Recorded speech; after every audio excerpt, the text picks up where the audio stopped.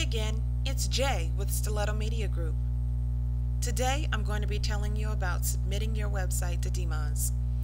DMOZ, also known as the Open Directory Project, is one of the places that Google goes to to find new and updated websites to crawl.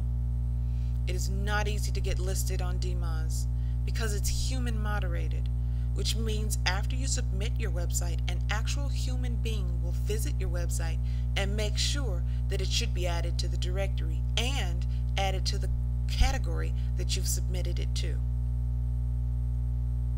Your chances of getting listed increase if you place your website in the correct category. Today, I'm going to show you how to submit your website to DMOZ. And as always, if you have any questions about this Fitbit, feel free to contact me at www.stilettomediagroup.com. Okay, let's begin. First, we're going to navigate to the DMOZ website, which is located at www.dmoz.org.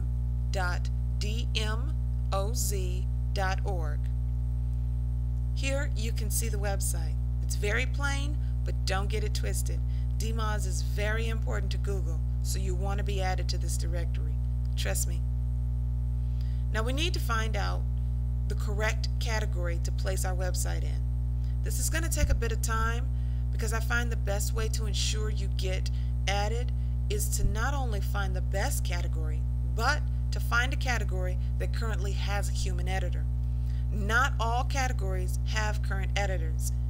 And if you submit to a category that does not currently have an editor, you run the risk of not getting listed or having being listed but having it take a very very long time. So, we're looking for two things today. We're looking for a relevant category that has an editor. Our example website today is www.cookingwithdanae.com. CookingWithDanae.com is a website that provides information for home-based bakers and cooks. The first thing we want to do is make sure that this website is not already in the system. So we're going to search for it by typing Cooking with Danae in the search box. It doesn't lead into any results. Just to be on the safe side, we'll go ahead and add the website as well. CookingWithDanae.com. New search. Still does not produce any results. So we'll return to the home page. We know that Cooking with Danae has to do with cooking. So under the home category, we'll click Cooking. Now, while there are um, websites under this, and we have a category editor, actually, we've got three down here. If you scroll to the top, there's no submit button, which means this category is not allowing me to submit um, websites. So, let's go ahead and click, hmm, weblogs, because this website includes a great blog on baking and cooking.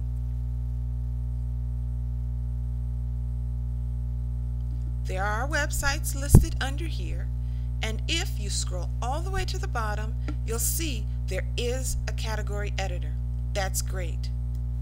Scroll up to the top, suggest URL. So, we've got a great category, and the category has an editor.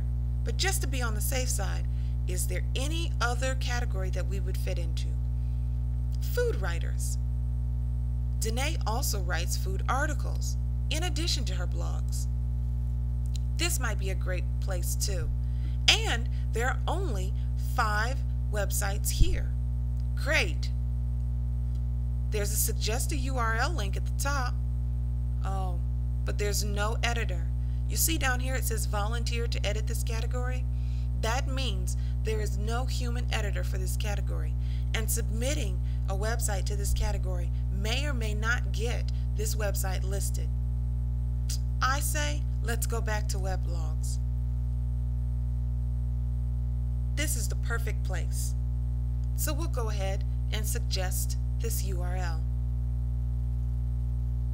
The form is very simple, just as simplistic as the website DMOZ itself. You'll scroll down and you'll insert the site URL here and what type of URL it is. It's just a regular website, so we'll keep that radio button.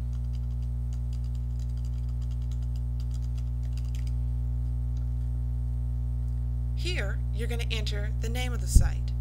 Now, they give you a lot of to do and not to do items on this page. Pay very close attention to what you can and cannot do. If you do something that they ask you not to, you will not be accepted on the directory. So make sure you pay attention to the rules.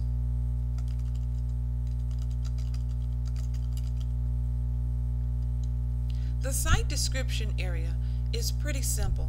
I would suggest creating a short, sweet, to the point description of what your website is about. You see here that it says no longer than 25 to 30 words, and they mean that. Keep it short, but make sure you're using those strong keywords and make sure it's completely relevant to your website. Next, you'll add your email address and type in the user verification, which would be whatever is shown in the image here. Once you're done, you look at the submission agreement, read through it, click on the terms of use, read through those just to make sure that your website can be listed, and then click submit. It's just that simple. I would suggest wait a couple weeks and then check back. Do another search like we did in the beginning for your site. If it's not there, check back every few weeks. And if it's not been added within six months, do another search to find out if there's a better category that you would be able to add your site to. It's difficult getting listed in DMOZ, but trust me when I say it's well worth it.